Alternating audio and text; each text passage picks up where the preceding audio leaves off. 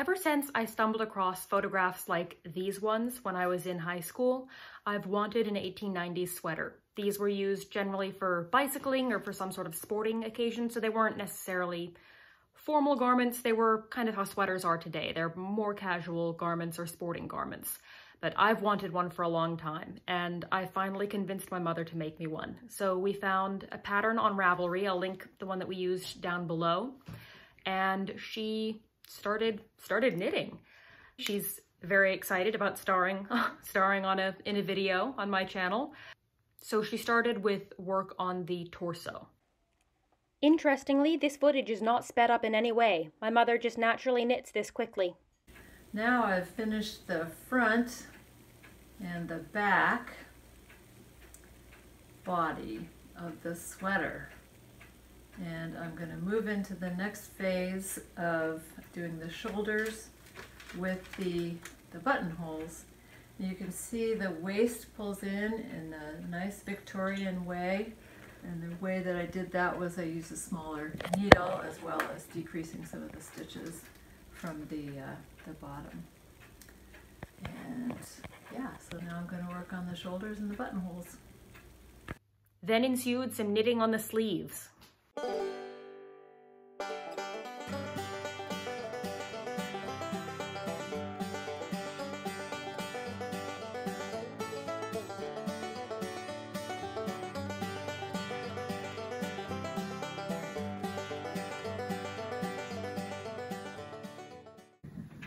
So the puffy sleeves are about halfway to the elbow now, so I've got about this same amount again to go. And we're trying to decide if this um, stripes should go all the way down, which we're deciding they should.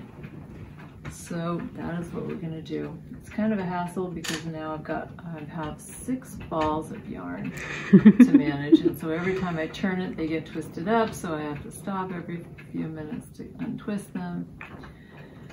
So I was hoping we could stop striping, but Adelaide and I agree that it needs to be striped all the way to the elbow. I mean, it would look stupid if the stripe stopped halfway down the puff. We want a fully striped puff. One must always have good puff in one's sleeves. After this, the sweater actually was finished, but it was way too big for me in the torso area. The sleeves fit me fine, but the torso area was way too big. And sweaters at that time were not really like sweaters today. Sweaters today are supposed to be kind of baggy, but if you look at illustrations from the time and at photographs of, of originals and extant garments, you'll see that they're much more closely aligned with the current fashions. And that means being fitted. So they're, they're much more fitted than sweaters are today. So the painful decision was made for my mother to rip out the entire torso section and start over.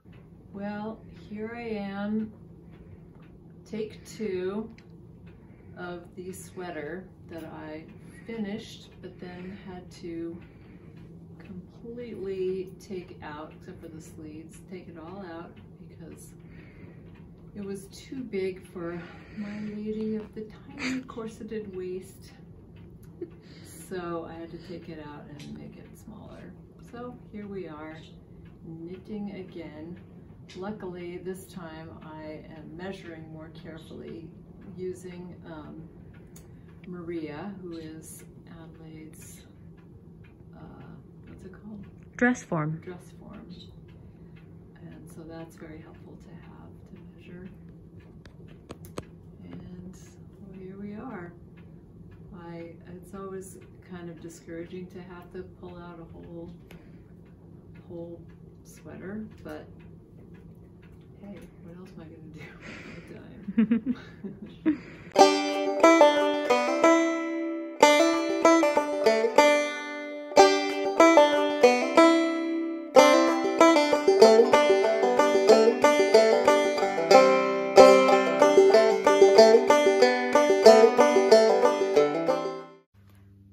Torso Take Two went along much more quickly than Torso Take One, I think because there just wasn't as much of it to knit and also mom kind of had a better better handle on working with the pattern by that time. So in just a few weeks we had moved on to assembly. So I'm almost finished. I got one sleeve on and I just have to get this next sleeve on and then put some buttons on and then we'll be done. Trying to make, uh, the sleeve is bigger than the arm sky or whatever it's called. So I have to um, give it a little, what's that called, pleat. I have to do a little pleating there. But uh, yeah, that's it. Almost done. And just like that, the sweater was done. However, I did do a few things to it that weren't in the original pattern, but I thought were kind of necessary. So I'm going to show you what those were. When I initially wore it, I found that just the stitching here wasn't tight enough. So the sleeve kept on wanting to fall down until the poof had kind of like flattened or straightened itself out and this would be hanging way past the end of like my tips of the tips of my fingers would be about here. So what I did was to sew a strip of elastic right underneath the sleeve puff on the inside. And you can see it's just done with these little stitches.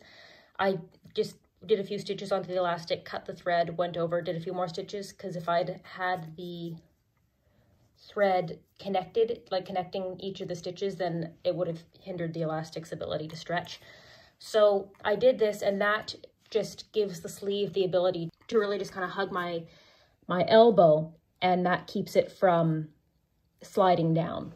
The collar and shoulders were supposed to also open and close with buttons and the original pattern had buttonholes here, but I found those to be completely unnecessary and also inconvenient since they kept on unbuttoning themselves. So mine is just completely sewn up and these buttons are just decorative and I can just pull it on over my head.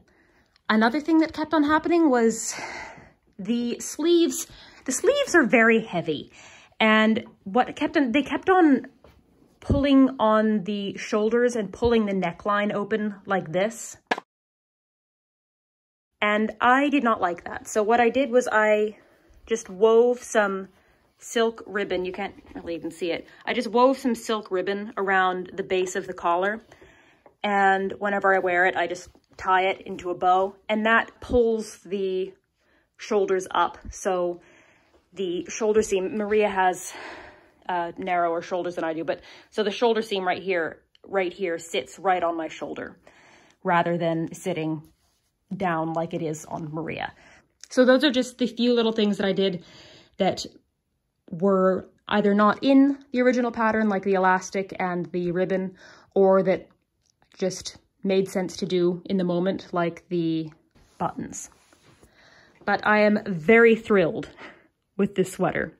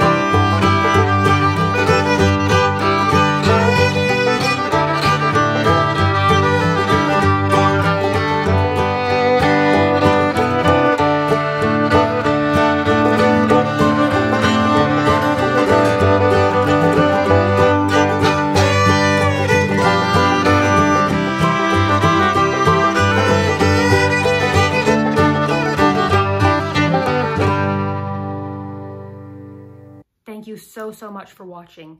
A huge thank you to Mary Royal, Kit Kat Stitch, and Sandra White for supporting this channel on Patreon. If you would also like to support this channel on Patreon, there will be a link in the description. There will also be a link to my Instagram down there if you want to follow me there. I'm so glad that you watched, and uh, if you want to see more videos, then be sure to like and subscribe, and I'll see you next time. Bye-bye.